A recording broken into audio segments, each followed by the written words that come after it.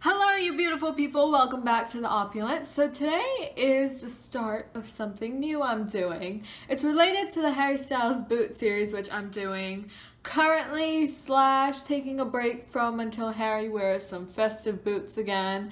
Um, so I didn't really want to say a last episode or anything like that because, you know, Harry is really wild with his fashion choices. So I'm going to keep the hope that he's going to wear some cool boots, which I can do a look from because until then I'm going to kind of take a break from that, but you never know. I mean, hey, I might surprise you guys.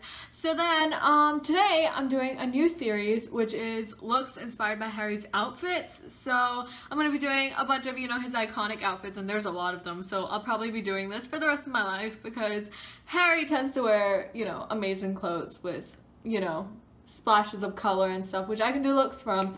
So he's not like the simple t-shirt kind of guy, although when he does wear a t-shirt, he looks good, so, I mean, whatever. So today I'm doing a look inspired by his Drag Me Down music video jacket, and let me show you a picture. So this is the jacket I'm doing and I'm sorry it keeps reflecting because I'm like sitting by the window because I'm not fancy. I don't have some fancy lighting. I'm sorry. And you can watch the video if you want you know more details on the jacket. Use Google whatever else. Um, I will link the video below.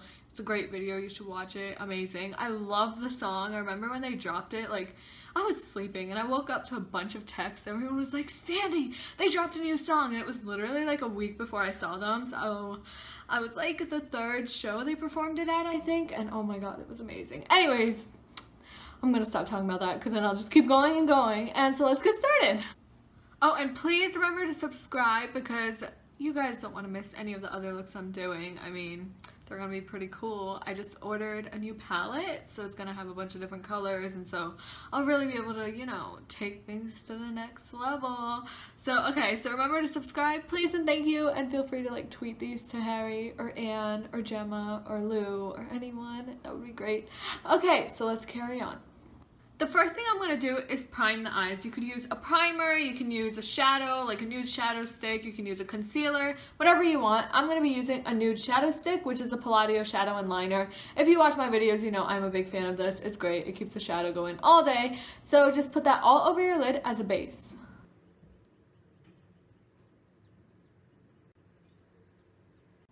Next, I'm going to be taking a blue eyeliner, which I'm going to kind of use as a shadow slash eyeliner. Um, it's going to be the Revlon Color Stay in Sapphire. It's a blue liner because his jacket has a whole lot of blue in it. It's a beautiful color. You can either get the Revlon or, you know, whichever company makes it. Um, Revlon's eyeliners tend to stay all, literally all day long, hence color stay. So I just tend to use them. I love like the black and everything. So I am going to take this and you know how when you put a crease, um, eyeshadow in your crease, you're going to kind of put this in your crease. So start from the corner of your eye, make a faint line like so. Okay, and then go right into your crease like that. So it looks like that. And make sure you do both the eyes at the same time, not just one eye, then go to the next because then you don't want it to be uneven or anything like that. So I'm just to do the other eye. So like that. And then up next, um, on the back of all these Color Stay eyeliners, they have, uh, actually they make these on the back of a lot of the eyeliners I've seen these days, but just in case, you know, if you don't have a little bulbous thing to like buff it out into.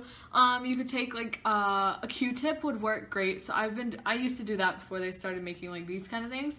So then you just want to blend it a little bit, just buff it out. And you're going to take that into the rest of your crease because we only did it halfway. So when you do it, you're going to take it into the rest of the crease. And if you feel like you need a little bit more product in the crease, just add a little bit and then just you can either blend it or if you put it really lightly, you don't even have to blend it. So now you've got it just like that. It's just a little bit blended in and then kind of solid more towards this part. So this beautiful jacket also has green in it and I'm going to be applying some green eyeshadow and I'm going to be using the Little Mix by Collection Trio palette. It's Jade's palette. Ooh. And I'm going to be using this green color right here. So again, if you don't have this because it's from London, um, it, the green looks just like this. And I'm going to be taking a pretty flat and precise brush is what I can call it. I got this from like a, you know, one of those holiday collections at Walmart and Target and stuff where you can get like for 10 bucks you can get a bunch of things. So I got it from that because it's got like such soft like bristles and everything. So it's like this, just like a flat brush and pop a little bit of the green on it. And then where the blue diffuses in the crease, apply it right into that.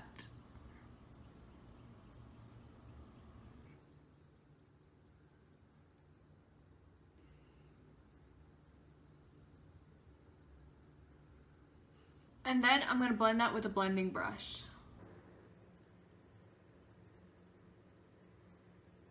And I'm just going to add just a little bit more of the blue eyeliner on the, just like the top of the eye.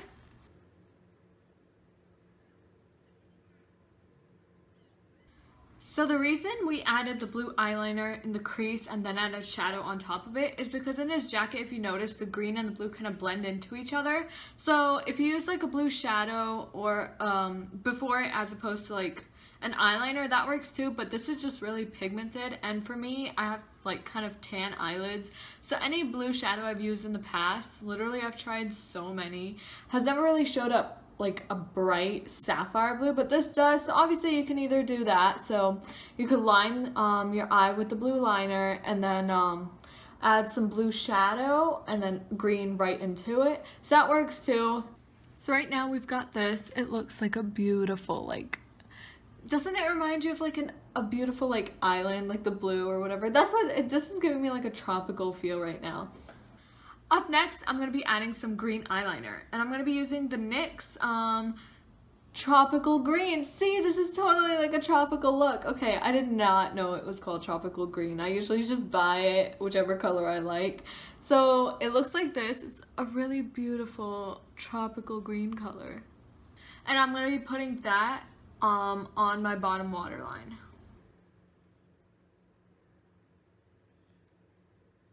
And then you're going to go back in with the blue liner and put it a little bit in this part of your waterline. That way it blends into the green.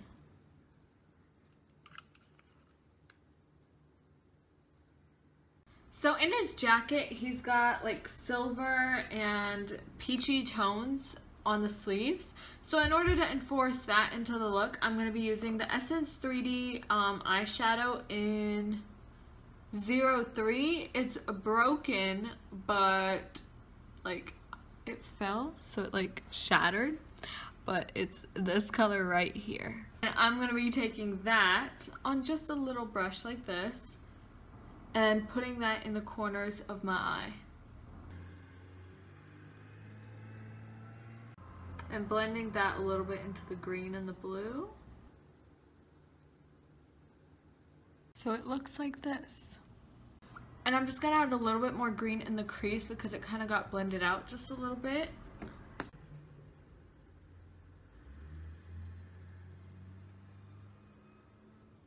So we've got this so far. And I'm going to go in with that same inner corner peachy color and highlight my eyebrow. Up next, I'm going to be adding some mascara, Telescopic Carbon Black by L'Oreal. Again, my favorite mascara in like the entire world. And pop that on your top lashes.